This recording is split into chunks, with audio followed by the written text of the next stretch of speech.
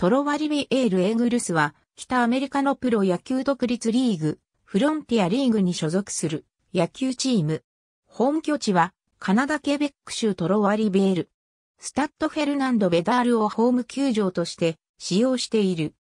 前身は1971年から1977年までシンシナティレッツの参加チームとしてマイナーリーグ AA で活動していた同盟のチーム。2012年10月3日、カナディアンアメリカンリーグに参加。オーナーには2003年のサイヤング賞投手、エリック・ガニエや当時 NHL のタンパベイライトニングに所属していたマルカンドレ、ベルシェロンらが就任。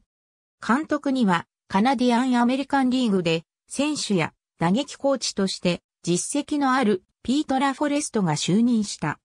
選手はアトランティックリーグのランカスター・バーンストーマーズから2008年北京オリンピック野球カナダ代表のエマーソン・フロースタッド四国アイランドリーグプラスの高知ファイティングドッグスからチャーリー・ウェザービーとブレッド・フラワーズを獲得した。また、2016年7月には同じく高知からザック、コルビーをレンタル移籍させている。